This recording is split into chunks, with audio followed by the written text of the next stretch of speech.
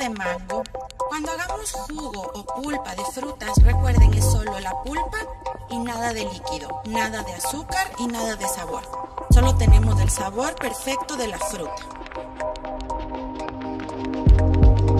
El sabor perfecto de la fruta.